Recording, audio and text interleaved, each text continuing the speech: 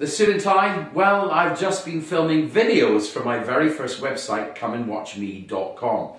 As a busker for over 13 years, I've come to rely on working a pitch for too long and not had one.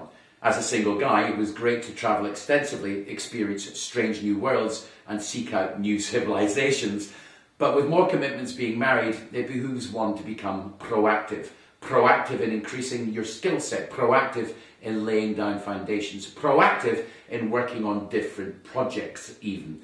With a bit more stability in one's life, you can find space and time to become involved in other pursuits. Busking teaches you a great deal of many things, apart from drawing a crowd and making them into an audience who will pay. No, it teaches you and allows you time for you to draw on your abilities to create and leverage any other business that you may want to be involved in. And look at what Mario and Lady V have wrought. You know, the School of Busking didn't just happen overnight.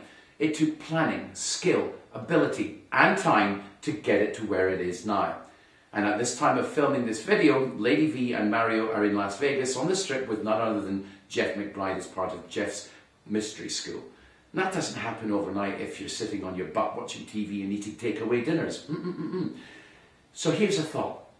Yes, get out there, make your show and street journey be the best it can be.